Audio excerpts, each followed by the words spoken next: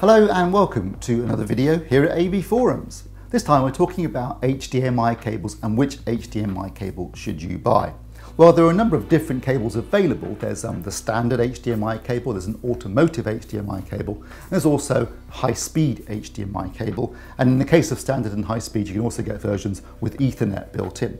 From the point of view of AV for home cinema and that kind of thing, you need to be looking for a high-speed cable. Obviously, automotive is designed for cars. Standard is really out of date now. Do not get standard cables to make sure you've got sufficient bandwidth to do what you want to do with the modern world in terms of um, you know resolutions and HDR and ARC and all these kind of things, you need to make sure that you have a high speed HDMI cable. Now you don't need to spend hundreds of pounds, just need to make sure that it is definitely certified high speed, that it can do up to 18 gig a second, which is the maximum bandwidth that will need to cover all the new features that are currently available, and that it's reasonably well made and isn't going to fall apart on you. You can get these kind of cables for about 10 pounds on Amazon. You do not need to spend a fortune. And when you're talking about cable runs of less than five meters, you know, as long as it's a reasonably well made cable, it's going to be fine for what you need. And if you've got a problem with that cable, you'll notice immediately either you won't get an image or you'll get speckles or be image dropouts, that kind of thing.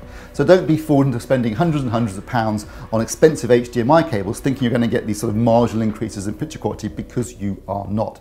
All you need to do is make sure you get a decent quality HDMI high-speed cable. Now, what you want to do is really look for ones that are certified premium. The premium certified high-speed HDMI cables are guaranteed to deliver um, up to 18 gig a second, so you get the full bandwidth that can deliver all the features we currently have, things like 4K and HDR, for example. And that's what you need to do. Um, going forward, there will be HDMI 2.1. That will mean a new cable entirely because the bandwidth is much, much bigger on HDMI 2.1. It's 18 gig on 2.0, it's 48 gig on 2.1, so that will require new cables. But as things currently stand, no devices actually have HDMI 2.1, so what you're looking at right now is a 18 gig a second high-speed HDMI cable of reasonable quality it isn't going to fall apart on you. But as I said, don't go spending hundreds and hundreds of pounds because you just don't need to do that.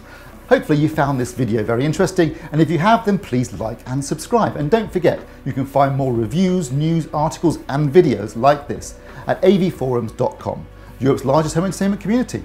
Thanks for watching.